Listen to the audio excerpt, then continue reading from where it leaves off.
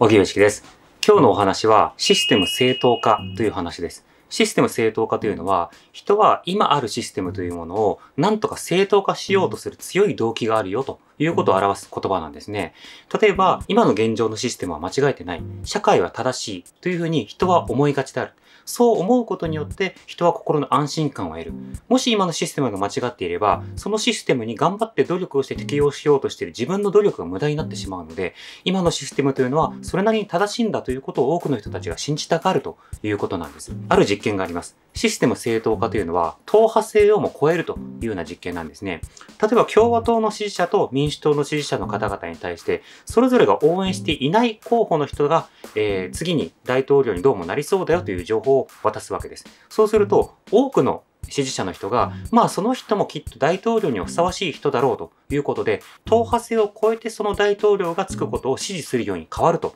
いうことなんですね。これは例えば日本でも選挙とか、それから首相を選ぶ際に、事前にはあの人が首相に向いているか向いてないかということを聞けば、あの人は向いてないんじゃないかなというような人がいたとしても、実際にその人が首相に選ばれると、まあ他にいないし適任などではないかというふうに、その人を支持するようになるということなんですね。これがシステム正当化です。で、このシステム正当化というのは、脅威が高まった時、危機感が高まった時にこそ、より強くなるということが言われているんです。例えばある実験があります。今のシステムが不当だということを知らせるような情報、例えばテロとか災害とか、まあ、そうしたような情報というものを読んでもらいます。犯罪が増えていますとか、年金の危機ですとか、そうしたシステムの限界というものを示唆する、そうした情報を読ませたわけですね。そうすると、その情報を読んだ実験対象者は読んでいない実験対象者と比べて今の政権をより支持するように変わったんです。これはどういうことかというと今のシステムに対する危機意識というものが刺激されるといやそれでもシステムがより安定してほしいというふうに願うわけですね。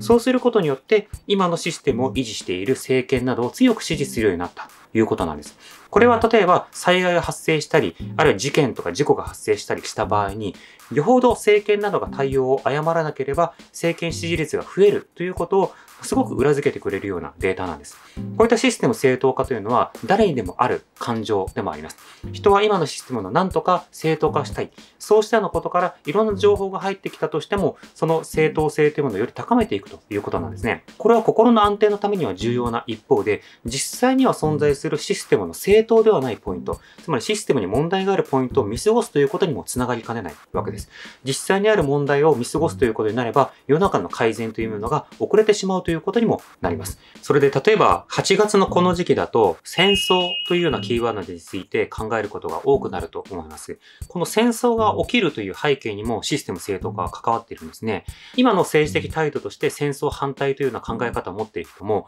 実際に戦争が始まると、まあこれぐらいなら仕方がないとか、これは必要なことなんだというふうに、今行われている判断を正当化するということが起きるわけです。例えば、イラク戦争に対して日本が派兵をした。そのことに対してすら、やはりこのようなシステム正当化というのが起きたわけなんですね。このシステム正当化というのは、実際に誰かが意思決定をしたら、特定のリーダーが何かを決めたら、それまで問題だと思っていたとしても、まあまあ仕方がないかなとか、まあこれは必要だったかなということで、事後的に自分も賛同していたというふうに修正をしてしまうということになるんです。このような判断というものは、例えば止められたかもしれない誤った判断というものを、事後的にそのような選択肢はなかったんだというふうに歴史修正してしまうということも起こり得てしまうわけなんですね。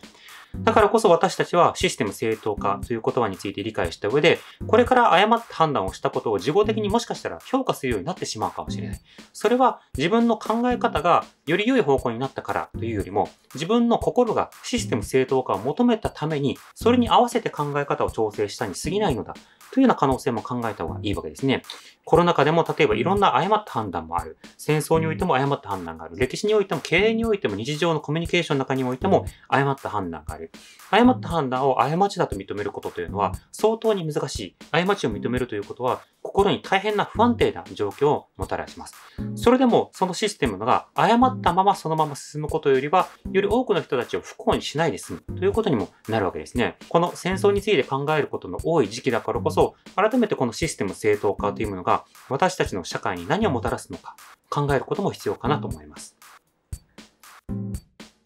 ご視聴ありがとうございました。チャンネル登録やご評価をいただけますと幸いです。また、このチャンネルは皆様のご寄付に支えられております。ご支援ご協力よろしくお願いいたします